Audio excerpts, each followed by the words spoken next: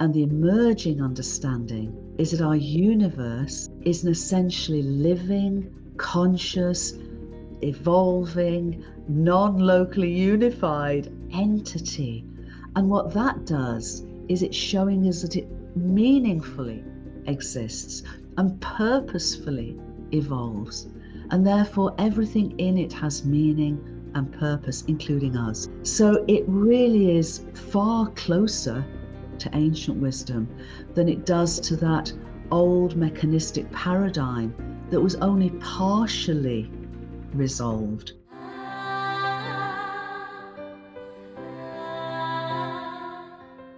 Hello, Jude. A warm welcome to the show. Thank you, Jannecke. As ever, it's lovely to be with you, and it's been a while, so it's my great joy to be together again today. It has. I first met you, I think it was in 2014 or something. And I was just beginning my career of interviewing. And I can't believe I dared to interview you with that deep wisdom and knowledge. I mean, you're a scientist, a physicist from Oxford, and you've written tons of books. And it's just so inspirational how you make that bridge between science and spirituality. And there are tons of things I would like to dive into today. And I also want to thank you for actually being part of my membership because you're part of the panel of my teachers in Wisdom from North membership. We have a beautiful class about the evolution of a conscious universe. So thank you so much for that. That's really an honor for me. Oh, bless you. Thank you. And I love the building that you're doing with your community. It's so important now. So thank and bless you for all you're doing and hi now, to all the community. Yeah, thank you. And I would like to go many places today, and I know you can also. And what I find interesting is that you studied to become a physicist and went into, you know, science, but from an early age, you said that you walked between worlds, like from you were actually 44 years old. Ah. And I would love for you to share what what that experience was like being a four year old walking between worlds and what it really means to walk between worlds. Well, you know, I think a lot of children walk between worlds, actually. And um, I, you know, and then and then perhaps because they're surrounded by family and teachers and society that perhaps tell them that they're imagining things they tend to shut down and some forget you know that they've had these experiences. And others there's a sense of of loss uh, because of that. I never told anybody basically. So when i was four years old a discarnate light came into my room and I, I started to hear a voice not through my ears but on an inner level. And that that really began a lifelong journey of communication engagement, learning, exploration um, that literally was not limited per se to the, this this world or the appearance of this world, but was very much multidimensional. So I was having conversations with angels and I was having telepathic communications and precognitive dreams and out of body experiences. And it wasn't anything I searched for, but it was very much an invitation to, to explore. And it's been my journey ever since. And it's enriched my journey in unbelievable, you know, in an incredible, I was going to say unbelievable ways. And some of my experiences probably would appear unbelievable. Um, and I share them just because they are my experiences and they've enriched my life. And I'm sure many, many other people have had their own experiences, some similar, some probably very different. But what it's enabled me to do is to share the understanding of reality that's far greater than we're often led to believe and therefore limited to experience. So, what was it like growing up with these abilities? Like, did you have a family that supported that and was like explaining, yes, you know, this is uh, how it can be also? Or were you very lonely in this? I didn't have a family who, um, I will put it this way I had an incredibly supportive family. It just never occurred to me to share any of this, not just with my family, but with my friends and with my teachers and with my wider community. And no, I wasn't lonely at all because I was having these incredible relationships with what we might call discarnate um, entities and intelligences and, and wisdom keepers and guides. So I just felt very fortunate and I was having an incredible journey of exploration. As I say, one that continues to today. So in the course for, for our community, I've explained why now leading edge science and the latest discoveries are converging with universal wisdom teachings to, to, to, to show a reality that's far greater than, than we've often been taught is the case. You know, the old paradigm of science tells us that, you know, this reality, our universe is the physical reality is the only one. And it's a reality made separate things. And we're now turning that on its head but what we're realizing is that we're rediscovering and taking forward what universal wisdom teachings have told us for millennia. So, what I find interesting and I'm curious about is that why did you become a scientist? Was that really to understand more of what you were experiencing already from a new perspective? Or was it sort of to be able to share this message in a scientific way because you could have become a spiritual teacher. Well, I have many hats. and it's been a very scenic route of my journey. So, in a sense, I am a spiritual teacher and I'm a scientist and and many other things. So, with that sense, it was the former. It was more to as I continued this incredible journey of walking between worlds, of multidimensional realities, where mind and consciousness, I, I realized, are not something we have, but lo- literally what we and the whole world are. It, I was really fascinated by how science was also on this journey of exploration but had limited itself. And I understand the history of science and, and, and I'm a student of that as well, but has limited itself to this, you know, this phys- what we call the physical realm and has pushed to the side any further any exploration of the nature of consciousness certainly peripheralized it and in doing so it it's it's what we say in, in britain throwing the baby out with the bathwater because what we're now realizing that without an appreciation of mind and consciousness, which is fundamental to the nature of reality, we can't, you know, d- dive deeper into that fundamental realization. But for me, the science was was how does what I'm experiencing connect with what the physical world seems to be about? And so it gave me a language it gave me a methodology of exploration, which was a method, not the method. Um, but at that time, it wasn't to share it, it was just my curiosity.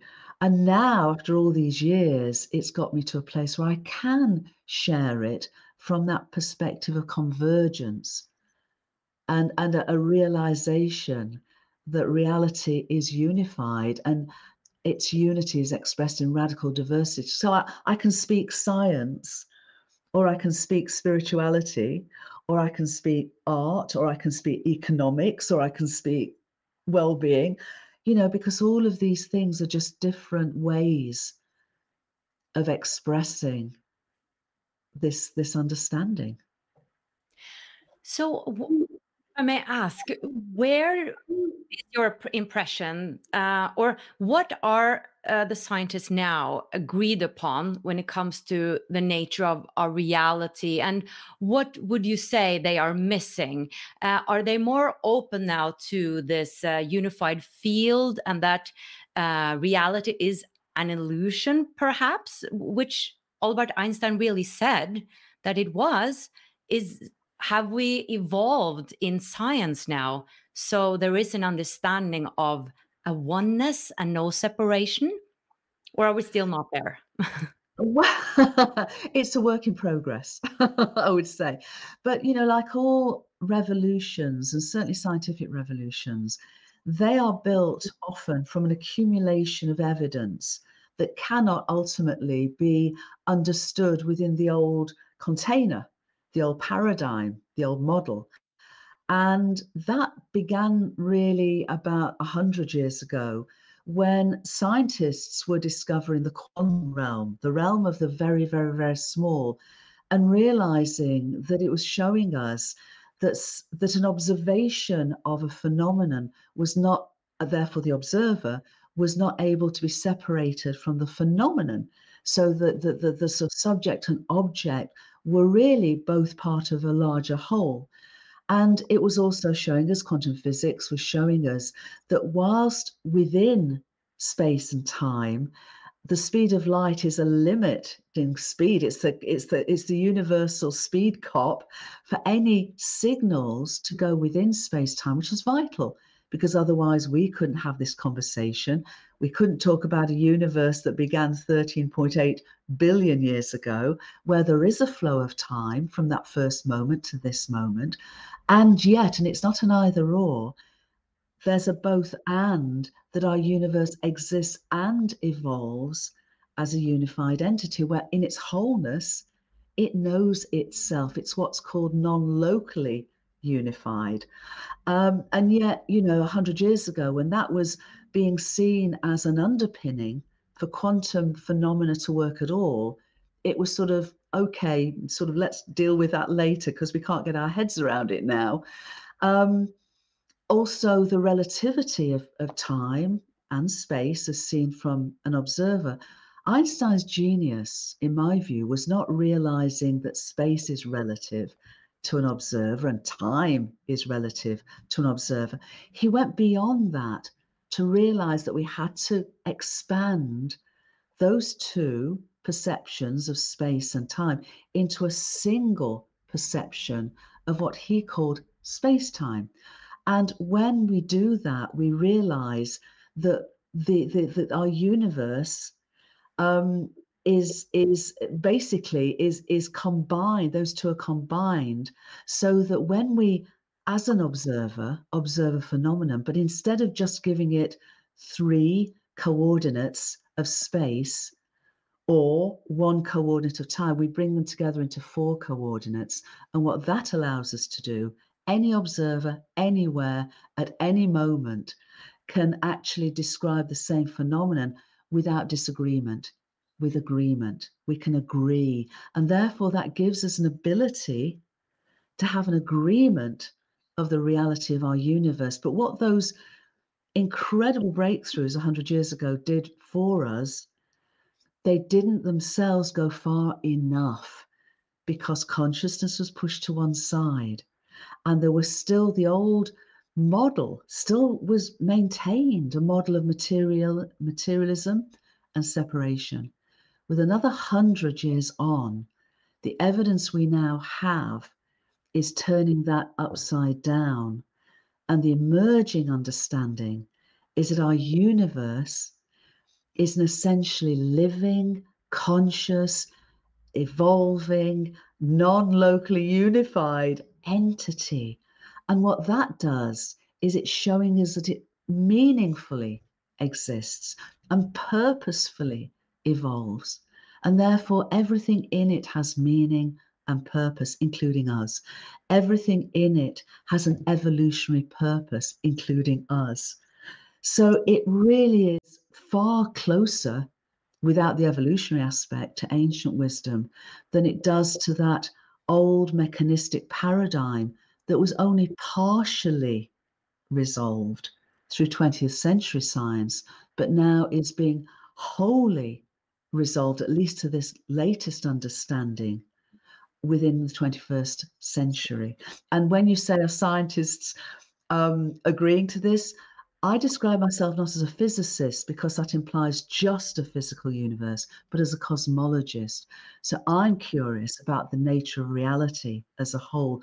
And I would say more and more and more cosmologists are coming to this viewpoint, and more and more scientists at many, many different fields of research at the leading edge of what they're discovering are also discovering this as being a far uh, more um, uh, deeper, fundamentally deeper, profound way of of, of describing the nature of reality than the old paradigm of materialism and separation.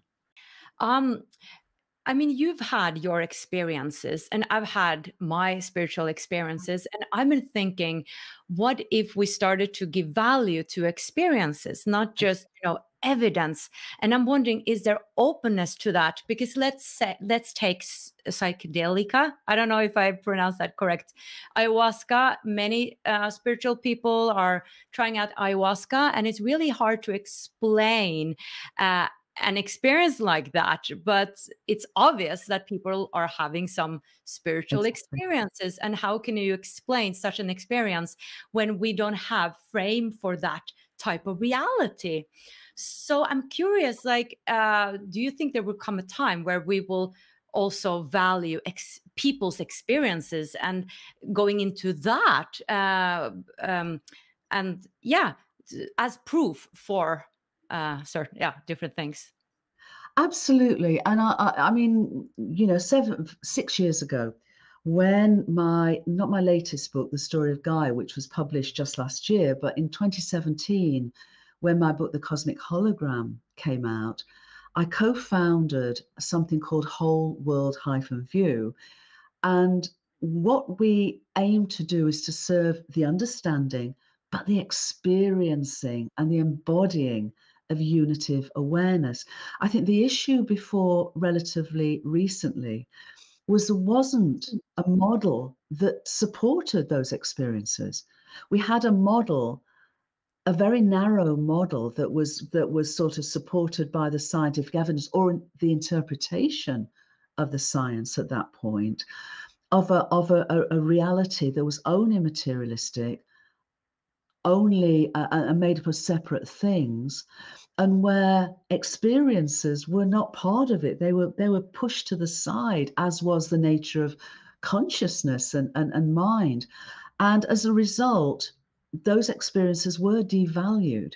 Now the emergent cosmology offers a, a framing an underpinning that not only allows these experiences to be understood in this wider, multidimensional understanding of the nature of reality, but they're natural. That's the point. They're natural, what I call supernormal phenomena, not supernatural or paranormal, but supernormal, such as telepathy, precognition, the experiences, the altered states of consciousness experience says that plant medicine can can help facilitate and initiate they're all part of this this new ancient but evolutionary paradigm of wholeness of unity in diversity. And that's why the experiential aspects of these of this are so important. It's not that they supersede the science it's just that the science is offering a description, and underpinning, a framing for which the vital experiential realization of this wholeness, of our unity in diversity, can be expressed and appreciated and valued and, and offering us the wisdom of that deep relationship, that healed relationship with a whole world rather than a fragmented world, which is what our old paradigm has insisted we are part of and is which now is being shown to be fundamentally flawed. I think we're living in living in exciting times, and I think well, I studied to become a primary teacher, and the um, the teacher that taught us history, she was coming over to me and she was like, you know, I know you do spiritual stuff and there's so much more between heaven and earth, but, you know, I don't talk about it, but I've had my experiences. And people say that to me, you know, they don't dare to say it out loud. And also, I think a lot of people are experiencing things. And it was just uh, right now before I was meeting you, I was uh, finding a, a, thumbnail to this teacher, uh, to this interview I had with her. I shifted her picture, and then all of a sudden in my mailbox, there's a, an email from her. And I haven't spoken to her for a year or so. And that's synchronicity and things like that happen all the time. And I think people who fall in love, you know, they can share stories about how they met in such magical ways. So I think that's really fascinating. Is that your experience as well? Yes, and I love that you brought up synchronicities because for me, synchronicities, synchronicities are our way showers. And of course, in that old paradigm, they have no place because they don't appear to have this causal, um, you know, A, B, C linearity, but they don't violate universal reality. There's nothing in a synchronicity that violates the laws of physics because it doesn't violate causality. But when we expand our understanding of the nature of reality as unified, as I mentioned earlier, within space time, nothing can go faster than the speed of light. Great. Otherwise, we would have causality. And it's not an either or, and our universe as a whole exists and evolves as a non locally unified entity, which means that synchronicities are natural. They, they bring into the here and now these wonderfully meaningful coincidences, which means they coincide. In other words, they come in this here and now. And the other superpower we have, the superpower we have, is our intuition. Because again, we are inevitably, innately microcosms of the intelligence of our entire universe. So we can tap into its wholeness, its sentience. If we can sort of take down the blinders that we often put up because of that old paradigm tells us that, to realize that we are part of this incredible, not just interdependent, innately relational universe. We are microcosms of its wholeness. And that's where, you know, plant medicine and, and mindfulness and other practices can really help us to expand our awareness in this way. Before I before I finish, I just want to say something because people might be thinking, well, okay, maybe there's some evidence for this. Well, let me share with you. you know, the, the cosmic hologram and the story of Gaia are filled with the evidence for this at all scales of existence and across many fields of research. But one thing I've spoken, uh, mentioned a couple of times is our universe exists and evolves as what's called a non locally unified entity. In other words, as a wholeness. And this was a theoretical prediction coming out of quantum physics over 100 years ago. And at the time, there were no experiments able to, to prove it at all. It was just a theoretical requirement for quantum phenomena to be able to, to be what they are. And for many years, it was a thought experiment. And then in the 19 sort of 80s and onwards, experimenters were able to show that such non-local uh, coherence and what's called sometimes entanglement was able to be expressed not just at the quantum level but ever larger scales in the laboratory and between laboratories. Um, and in 2018, a group of experimenters were able to non locally entangle photons of light in a laboratory with starlight from 600 light years away and light from an incredible active ancient galactic center 12.2 billion light years away to show that that non-locality extends 12.2 billion light years and therefore at cosmological scales. But in 2022 late last year three scientists three experimenters Alain Aspect, Anton Zeilinger, and John Clauser were given the Nobel Prize for Physics for this work. Now, the Nobel Prize for Physics, as you probably well know, living in Norway, is only given for what's called settled science. In other words, science that is not contentious, that everybody agrees on. And it was given for this realization of universal wholeness non locality in 2022. And that for me was a major threshold because this now is settled science. It's not conjecture. It's not conje- it's not contentious.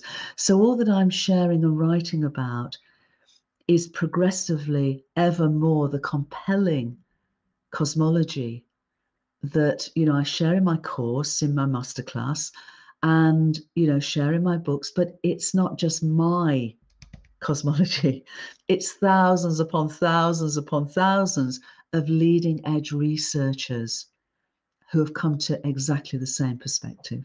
This is so exciting, and you know. Uh, being Norwegian, maybe it's natural, but I have not been thinking about that coincidences stands, you know, have those two words, co and incidences. I mean, that's amazing. And I, I, remember Neale Donald Walsch also in his book Communication with God or Communicating with God, uh, split it up the word, split up the word always to always. and I love that. Like you, we don't think about that, but that's brilliant. So, Jude, I heard an interview with you uh, where you said something highly interesting. You said, we will remember our extraterrestrial and interterrestrial heritage. Yeah. I would love to go into that because you've been speaking about multidimensionality. Mm-hmm. Uh, I'm curious do we have another heritage that is not so common commonly well known of I, I feel we have personally i feel we have and what's been very exciting for me and interesting for me is over the last few years, after so long, when the possibility, when I was at university many, many years ago, um, astronomers, I would say if you ask 100 astronomers, is there a likelihood of extraterrestrial life? Probably 99 out of the 100 would say no. You might have the one brave soul who said, well, possibly, but there was no specific evidence. There is a, a, a there is a, an aspect of astronomy called exobiology, which has been looking for the signs of extraterrestrial life for a number of years now, and gradually, um, more recently, exponentially, we've had the technology. And over the last few years, we've discovered thousands of planets beyond our solar system that may well be able to harbor biological life. And for me, life is our entire universe. It goes way beyond biology. Ours is a living universe. But just with the focus on biological life, we're finding thousands of planets that have the potential to nurture the evolution of biological life. In fact, as I write about in the story of Gaia, we now consider there to be more planets in our galaxy than stars. Planets are incredibly common. Now, not all of them can support biological life. In our own solar system, it looks as though Mars and Venus, as well as our planetary home, Earth, Gaia, were water planets from the, from the beginning. Mars is too far out and too too small to hold on to the water. But you know, the, the probes we've sent are finding more and more evidence of very early water and possibly biological signatures. Venus is is too near the sun and therefore has now become a, a, a, very, very hot planet, but again, likely was a water planet. It looks as though the, some of the moons of Jupiter and Saturn have oceans beneath their icy surfaces. And we're starting to be able to sort of, you know, identify that there may be life there. So probes in coming years may well show that at least simple biological organisms have been able to evolve there. So that's just in our solar system. We look out, and before planetary systems come into being, as ours did over 5 billion years ago, there are interstellar clouds of gas and dust and ice, vast swathes of ice, vast amounts of what are called prebiotic molecules, complex carbon based molecules, which are the forerunners of biological organisms, all there. And so, in our solar system, and likely many, many, if not all solar systems come into being, the beginnings, the possibilities to then nurture further complexity of biological organisms are there, ready to be delivered to new planetary systems such as ours. So when we talk about extraterrestrials, it seems to me, and it always has from my own experience, because I've communicated with extraterrestrials all my life, is that now the science is catching up with that understanding. And I'll be very, very surprised if we don't have very direct evidence and contact potentially within the coming years. NASA, I don't know if you know, NASA have just started to report uh, after a nine months study of what they're now calling uh, unidentified aerial phenomena, used to be called UFOs, but they're now extending it to below oceans. And, you know, I, I really do think that we're on the threshold of, yes, realizing that we too are both human, terrestrial, and our heritage is also extraterrestrial and intraterrestrial in the sense that, of course, our bodies are made up from the body of Gaia, but also in my, you know, explorations, I've communicated with what we might call elemental realms and devic realms of Gaia all my life. And more and more and more people are doing this. Our indigenous brothers and sisters have continued to do it when so many of us have lost those relationships or forgotten those relationships. You know, to a shamanic society, they're just part and parcel of lived experience. Wow, fascinating. And I, I gotta ask, and I think my audience get very curious curious about what kind of extraterrestrials have you been communicating with? Because there's so many races out there. There are, and and and you know, for me, it's been, um, for example, Sirians, Pleiadians, um, others, um, and you know, I, I my experience is is not that great.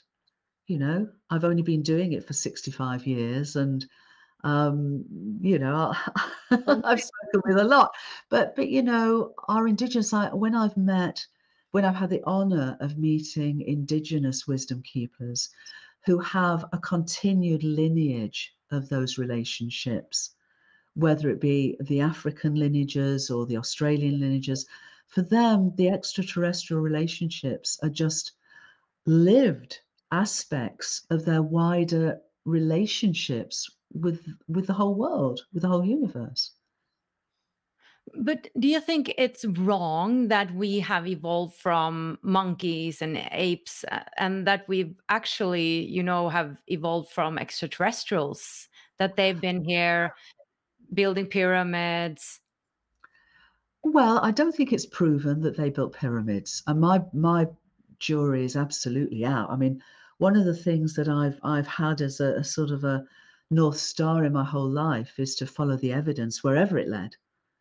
And you know my own experiences are my own experiences and i'm not trying to impose those in on anyone else. But i have had my innate curiosity guided and invited and and very very often validated um, by the by the evidence um, yes i mean my goodness me the whole story of gaia as i write about is a story 13.8 billion years in the making because our story is the story of our universe, not just our planetary home, our entire universe. And you know, when our when our planetary home and our planetary solar system came into being five billion years ago, from a nearby, you know, a nearby uh, a collapse of a nearby interstellar cloud of gas and dust and ice to form our planets. Um, that enable, by being a water planet enable that ongoing nurturing from simplicity to greater levels of complexity and the evolution of biological organisms. So, yes, the evidence is there that that entire, what has now been a, a 4 billion biological story, led from, you know, single cell bacteria and, uh, and, and, and single celled organisms to multi-celled to eventually to plants and fungi and all the incredible abundance of biological life that came to eventually monkeys and, and apes and us. I'm not denying that. I, I, you know, I couldn't even begin to suggest that that wasn't what the overwhelming evidence is showing us. But it can be an and, both and. It can also be that extraterrestrials are also part of that story. And again, my jury is still out. And I feel that over these coming years, that understanding will show us one way or another. So I'm not trying to preempt that. Um, but I'm saying it can be a both and and not just a Gaian based without anything. I mean, for example, until a few years ago, the evidence was suggesting that in our the earlier story of, of how we uh, evolved to be, you know, modern humans, um, that we had Neanderthal cousins. And the idea was that our Neanderthal cousins died out and, and we went on. But we now know that between 1% and 4% of our DNA is Neanderthal because our ancestors um, not just coexisted but bred with our Neanderthal cousins. So there's a, a you know an aspect of us, of our DNA and us that is Neanderthal, and I love that. I'm just delighted by it. And when we look at the whole story of, of our, our, our modern humans, we are the only hominins. We are the last of our kind in that regard. And yet, when we look over the last five to six million years, we find many other strands of our hominin relatives that have come to an end of their evolutionary arc. And yet they still, in that sense, and to some degree, still live on with us. And some of them in instances within our DNA, within the overall, you know, breadth of our DNA. So will we discover that perhaps there's an aspect of our DNA which may be traced to extraterrestrial. I don't know, but it's possible. Very interesting. And uh, yeah, speaking of going deep into the big uh, topics, um, I'm fascinated by the three theory of multiple universes. Uh, I don't know if that's sort of proven yet, but um, people are speaking about it. Um, what do you think about that uh, in your research? Uh, I, I, don't understand how that is even possible. well, there is so much, I think, conjecture, which is great, but there's also, I feel, also potential a lot of misunderstanding about what that actually means. First of all, for a long time, it was assumed, without any evidence, that our universe was the only universe. Okay, point one. Point two, that our universe was infinite.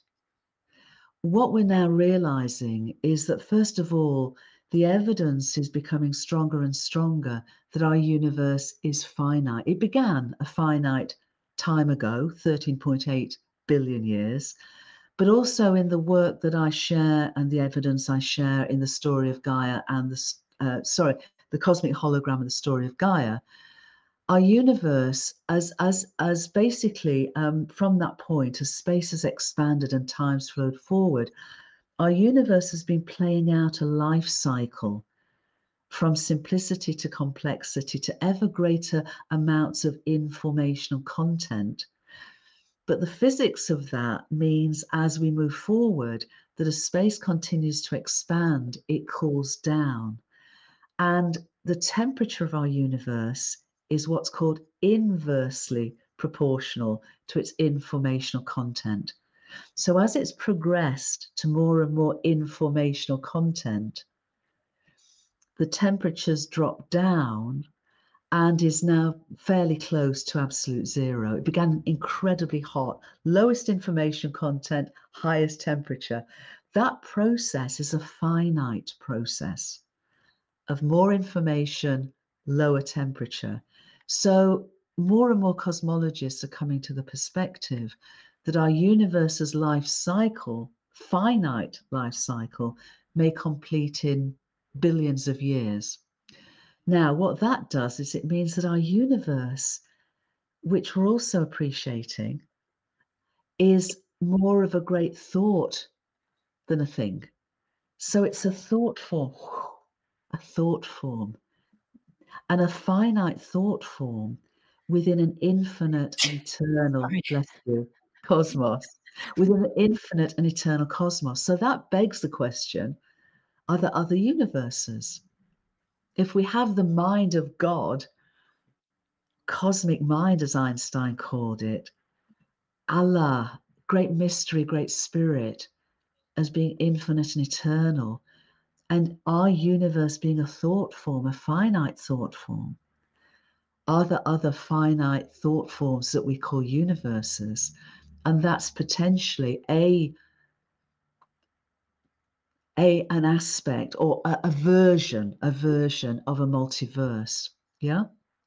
Where each universe and the thought form that it, it embodies, it represents, it expresses, may have different principles of physics, may have different relationships.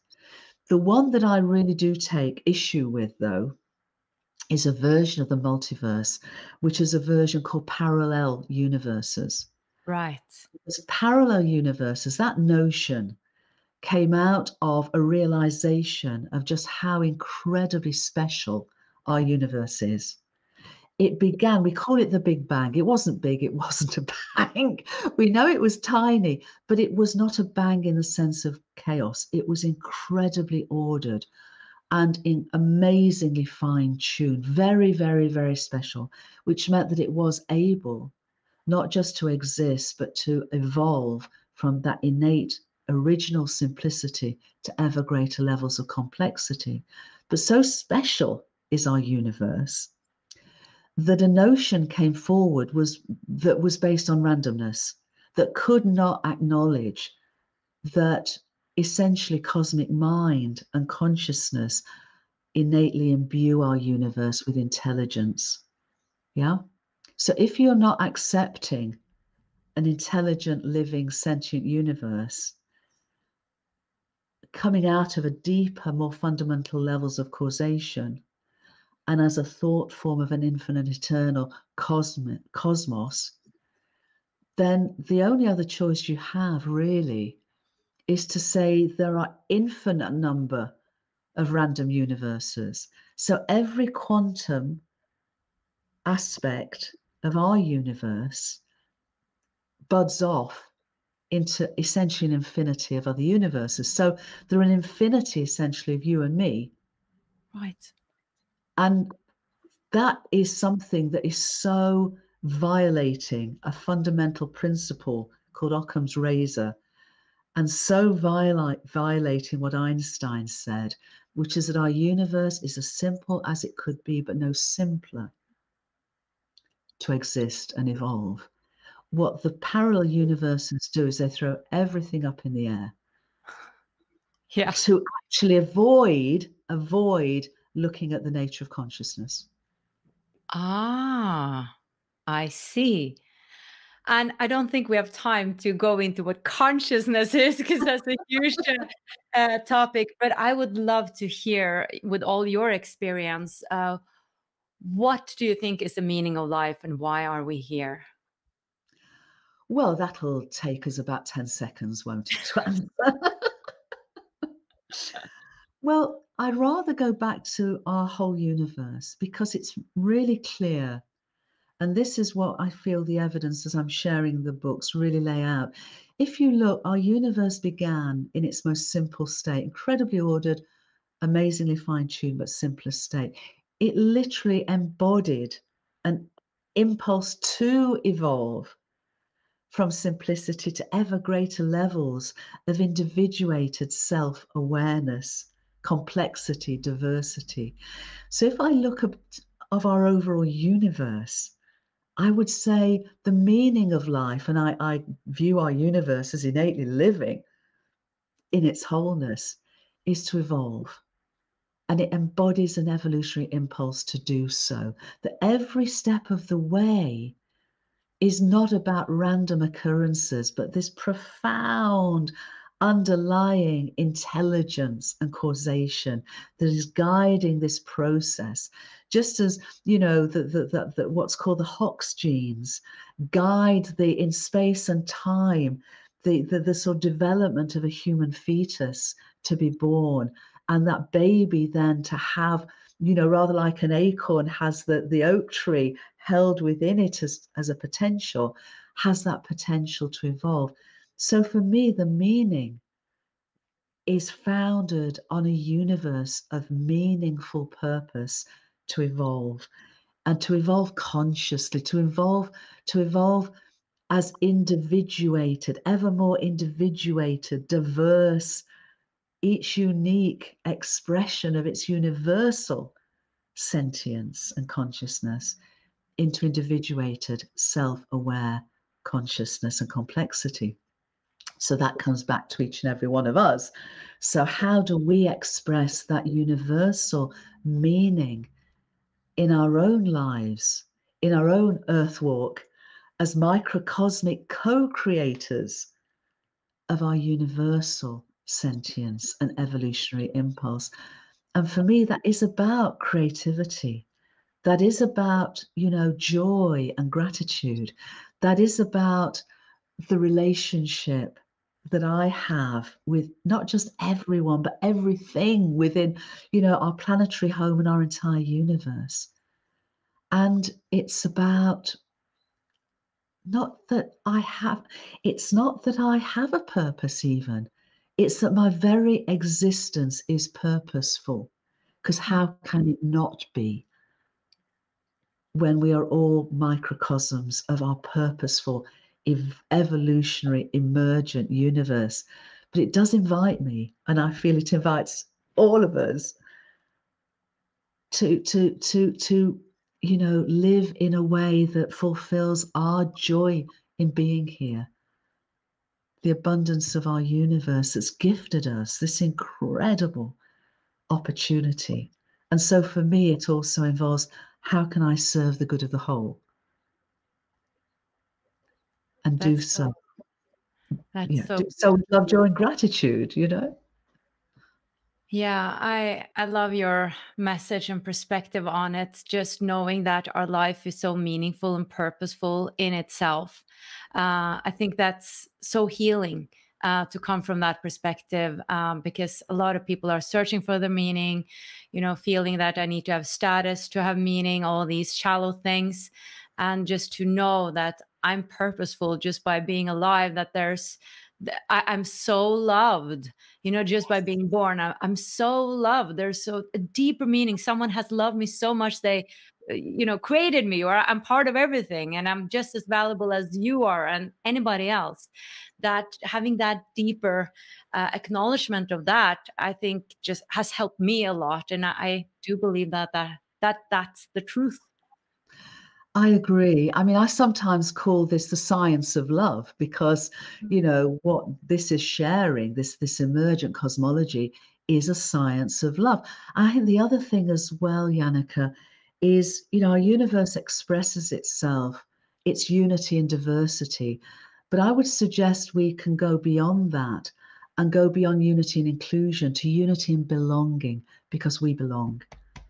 We belong to and with our universe. We belong to and with our planetary home, Gaia. We belong to and with each other because how could we not?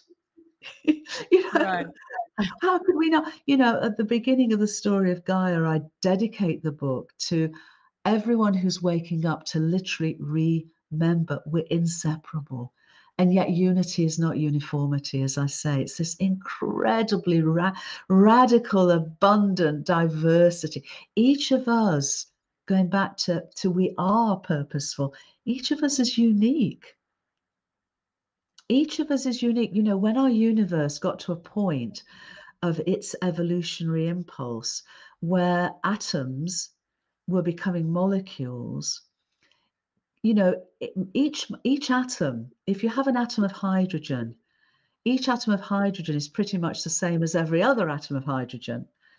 Um, but we get to molecules and then we start to get this incredible amount of differentiation and we go from molecules and then we go into you know our planetary home gaia her geosphere her minerals her rocks her atmosphere her waters and her biosphere. And that level of differentiation and complexity and uniqueness, unique individuated expression within the wholeness, just because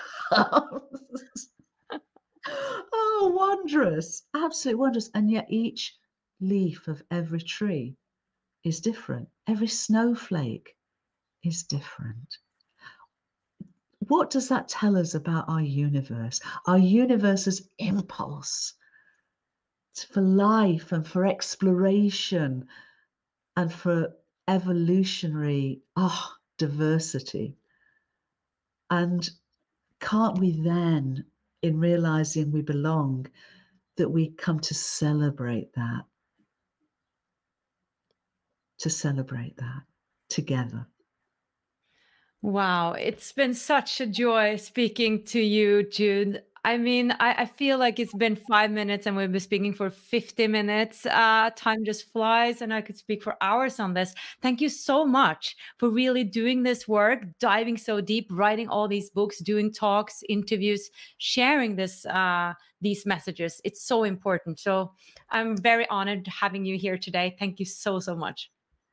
Thank you, Jannecke. And I guess for me, what's really powerful is this offers us what I call a unitive narrative because we're a story sharing species. And beneath our stories, there's a narrative. And the narrative has been one of fragmentation, separation. Mm. This is now offering us a unitive narrative to underpin and frame everything that we can do. Because with a unitive narrative, we can heal, with a unitive narrative, we can link up and lift up together to transform the way and the ways we behave with each other, the way we organize together. You know, this is such an incredible moment of potential and possibility. And to know that we're held and underpinned and framed by unitive narrative, we can begin to share new stories. Yeah, and that's what my work is all about. I feel like I cannot do anything else, and you know that that that unity coming from the heart, uh, taking that long journey from the mind to the heart. it is a journey we all have to take, but we can help each other with that, and that's why I, I continue doing these interviews because it just feels so meaningful. So thank you again so so much, Jude.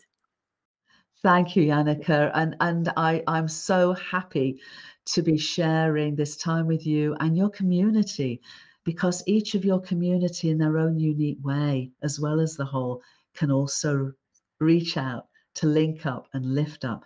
Together we can go forward. Indeed. And thank you for watching, guys. Much light from England and Norway. Bye bye.